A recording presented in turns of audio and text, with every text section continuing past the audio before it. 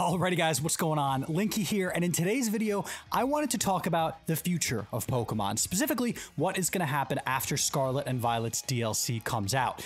What are we going to get next year from Game Freak? Will it be a remake? Will it be a new generation? If it's a remake, are we going to be returning to the Johto region, and what could that look like? That's what we're going to discuss in today's video. Let's jump right into things. I just want to put it out there from the start that I don't think we're getting the next generation in 2024. I think the timeline is too soon. I think for many reasons, the anime is not where it needs to be to end at some point next year. I just don't see a world, especially in the marketing cycle of Pokemon, where we get the region following Paldea next year.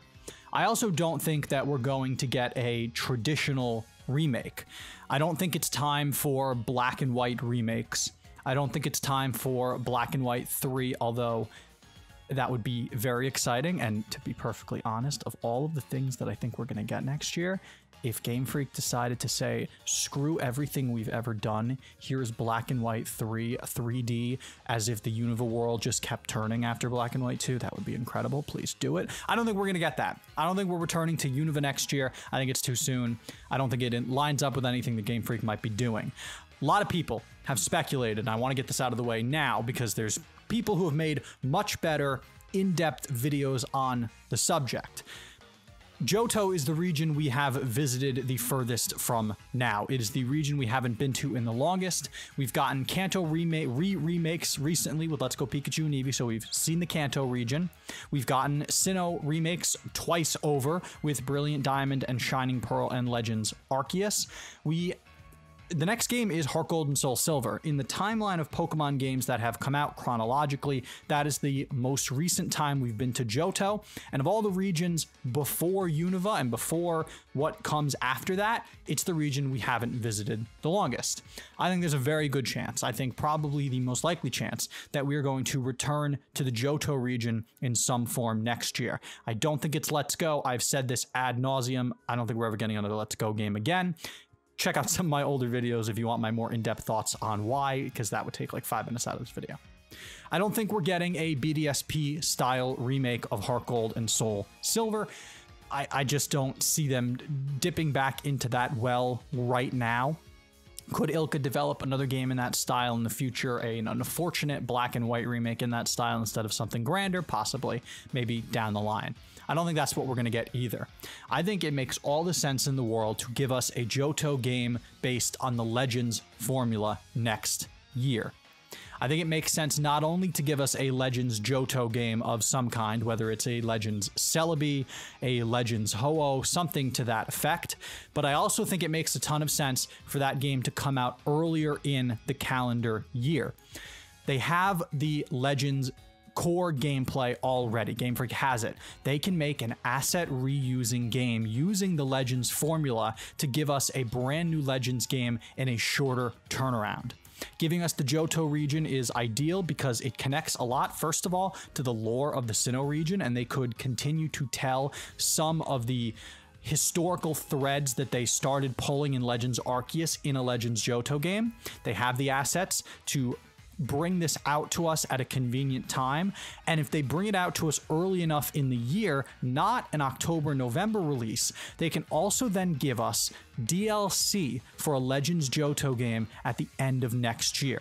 If we get DLC for a Legends Johto game at the end of next year, that then brings us to 2025. And before we go any further, I understand that this is like I'm looking at a pegboard or a cork board and I'm connecting strings and trying to make a conspiracy. I understand that's what this video is, but this is where my head has been going for like three weeks now. If that all happens, we get a Legends Johto game early-ish in 2024 that gets announced on Pokemon Day, of course. We get DLC, an expansion pass, whatever it might be, for said Legends Johto game at the end of 2024. That lines us up perfectly for 2025, the 30th anniversary of the Pokemon franchise, where we will no doubt get the next generation of Pokemon, most likely on the next Nintendo console. Now, of course, before we go any further, I just wanted to mention that the vast majority of you guys who are watching these videos and hopefully enjoying them aren't subscribed to the channel. Now, of course, subscribing is free and you can unsubscribe anytime. And if you do subscribe, be sure to turn that notification bell on so you never miss another upload.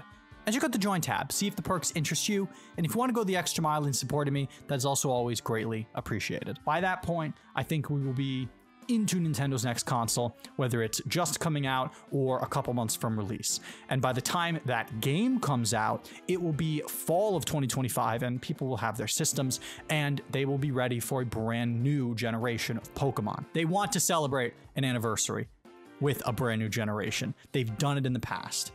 This lines up perfectly. Now, the topic of the video that I'm getting into halfway through. Going with all of this being true, if we get a Legends Johto game, I think it is an excellent opportunity to pull on some of my most interesting threads in the Pokemon franchise.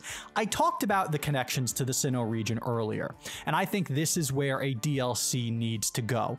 Johto and not Kanto will be explored in the core game of a Legends Johto game, and there will be a bevy of videos talking about how they are taking something that we've had previously, which is access to the Kanto region in a Johto game, and removing it, and this is a sign that modern Game Freak doesn't care about Pokemon and doesn't, doesn't doesn't really want to give their players a $60 experience, blah, blah, blah, blah, blah. That will happen. I don't really care right now. When we get DLC, we're also not going to go back to the Kanto region. Not at all. We're going to head north. We're going to head north to the land that exists between the ancient Hisui region and whatever Johto was called back in the day, because we'll get a different region name for it, most likely. It will be the Sinjoh region. It will be how Sinnoh is eventually named. It will be where we learn more about the Sinjoh ruins, about the events that took place in Pokemon Heart Gold and Soul Silver, bringing Arceus to the Sinjoh ruins and creating an egg of one of the gods of time, space, and distortion. It will pull on threads of Cynthia's lore and ancestry, how the people of the Johto region eventually migrated into Hisui, the Hisuian people, how those people are the ancient ancestors of said people who migrated north, how the Sinjoh area came to be and how it was civilized, some of the notes and pieces of lore that we get from Cogita and across the Hisui region in Legends Arceus can be explored and continued to be built upon.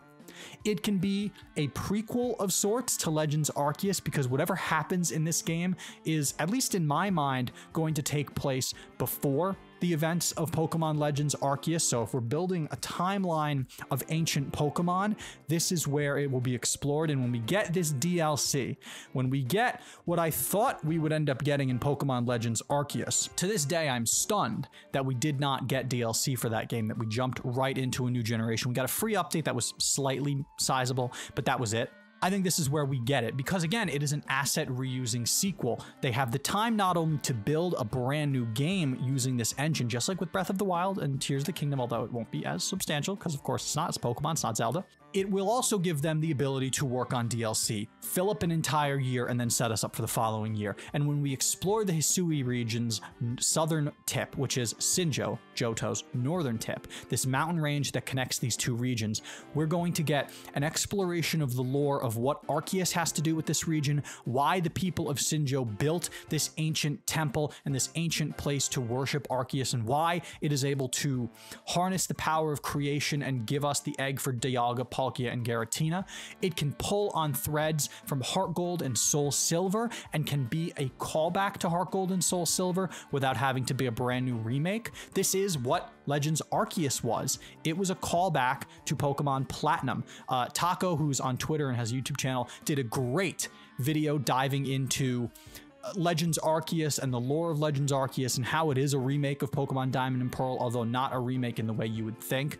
Uh, it's a tremendous video, and I think this game, this Legends Johto game, is going to do more of the same, and its DLC will be the biggest part of the game, at least to lore junkies like me, people who love absolutely nerding out and dissecting all of the things that Pokemon does quietly. It's soft world building through through uh, books in different towns and buildings, things that you don't have to see on your adventure, but if you do see, give you a better perspective. And returning to the Sinjoh region, learning about the connections Cogita talks to us about in Legends Arceus, and seeing how that history reflects upon Johto is exactly what a DLC for a Legends Johto game could be. Legends Johto will focus on the lore of the Johto region. Ho-Oh and Lugia, the tower, uh, the, the Pokemon that were created from the fire, whether it's Celebi and time travel, that's where the focus will be. But the DLC will give us our connections to Legends Arceus, will give us our callbacks to Heart Gold and Soul Silver's event with Arceus. It is the best way for Game Freak to honor that game while not making a direct remake and also taking us back to Johto in the process. So those are my thoughts on what a DLC for a Legends Johto game could be. What do you think of my ideas? Let me know down in the comments section below. And if you enjoyed this speculative style video, be sure to hit that subscribe button because I want to do more of them like it in the future. I know it's a little off the beaten path. I hope you all enjoyed. I will talk to you soon. I've been Linky, and we'll see you all in the next video. Peace out.